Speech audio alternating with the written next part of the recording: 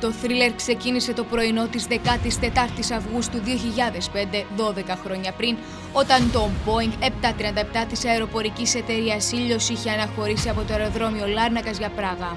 Το αεροπλάνο εισήλθε στο ελληνικό FIR, αλλά δεν έδωσε στίγμα ως όφιλε στον πύργο ελέγχου του Διεθνούς Αεροδρομίου Ελευθέριος Βενιζέλος και δεν μπόρεσε να έρθει σε επαφή με τους ελεγκτές εναέρεια κυκλοφορίας.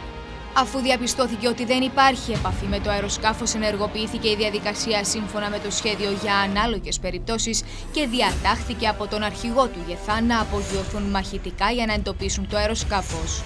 Στη συνέχεια απογειώθηκαν από τη Νέα Αγχή άλλο δύο μαχητικά F-16 τα οποία ήρθαν σε οπτική επαφή με το αεροπλάνο και διαπίστωσαν ότι ο συγκυβερνήτης του αεροσκάφους ήταν ανέστητος ενώ ο κυβερνήτης δεν ήταν στην θέση του και είχε ενεργοποιηθεί το σύστημα παροχής οξυγόνου με μάσκες.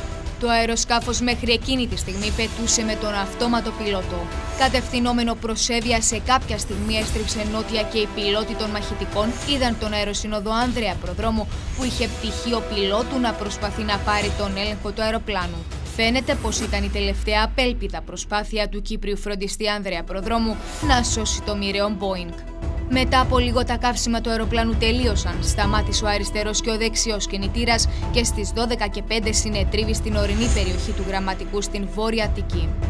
Το μοιραίο εκείνο λεπτό, μέταλλα και άνθρωποι έγιναν ένα στην πλαγιά του Γραμματικού.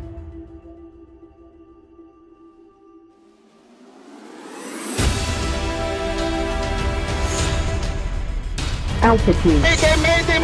έχουμε πρόσκρουση πολιτικού αεροσκάφους! Έχουμε πρόσκρουση πολιτικού αεροσκάφους! Mayday, Mayday! Στο αεροπλάνο επέβαιναν 115 άνθρωποι οι οποίοι ταξίδευαν για τις καλοκαιρινές διακοπές τους και εξαμελές πλήρωμα. Οι 103 επιβάτες ήταν Κύπροι, υπήκοοι και οι 12 Ελλαδίτες. Όλοι οι επιβαίνοντες σκοτώθηκαν. Η εικόνα τραγική. Τουλάχιστον 10 οικογένειες ξεκληρίστηκαν ενώ πολλά παιδιά έχασαν και τους δύο γονείς τους. Από τους συνολικά 121 νεκρούς, οι 22 ήταν ανήλικα παιδιά.